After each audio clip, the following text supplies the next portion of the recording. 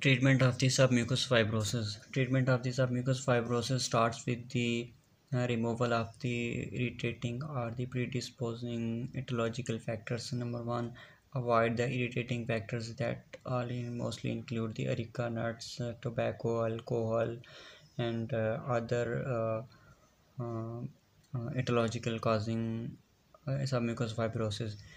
Then we use to relieve the symptoms of the submucous fibrosis steroids drugs.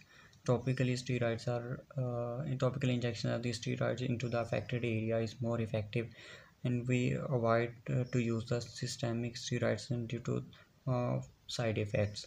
It may be um, in coordination with Hyalase is used um, dexamethasone 4 mg is injected into the affected area bi-weekly for 8 to 10 weeks and this brings a marked improvement in the symptoms and relieves the uh, trismus uh, that is caused by the submucous fibrosis.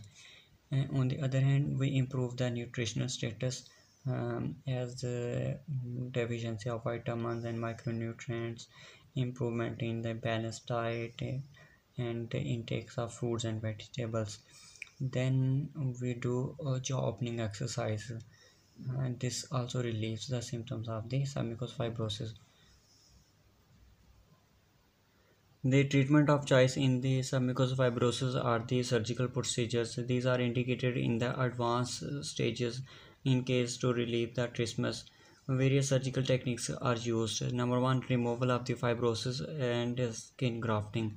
There is a high recurrence rate due to the graft contracture um, but we use uh, skin graft uh, when we remove the fibrosis in the oral cavity. Second one is the bilateral tongue flaps. Uh, it requires flapped vein at a second stage. Bilateral tongue flaps. Bilateral tongue flaps uh, uh, requires the flapped vein at a second stage.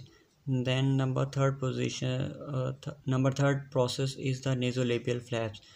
Uh, these are the small they are small to cover the uh, uh, defects completely and they also cause the facial scar required division of the flap at the second stage. Number four is island palatal mucoperiosteal flap. In this case we require the extraction of the second molar teeth from the flap so that this flap can be sit without tension. It is based on the greater palatine artery. Only possible in the second case and uh, one negative point about this is that it is not suitable for the bilateral flap. Then number five is a bilateral radial forearm free flap. Uh, this uh, uh process require the extraction of the uh, third molar teeth and uh, it may require debulking procedures. Then number six is the surgical excision surgically we remove the fibrosis lesion and it is replaced by the buccal fat pad graft next one is superficial temporal fascia flap and and number 8 is the coronoidectomy and temporal muscle myotomy. So these are the treatment options for the uh, oral submucous fibrosis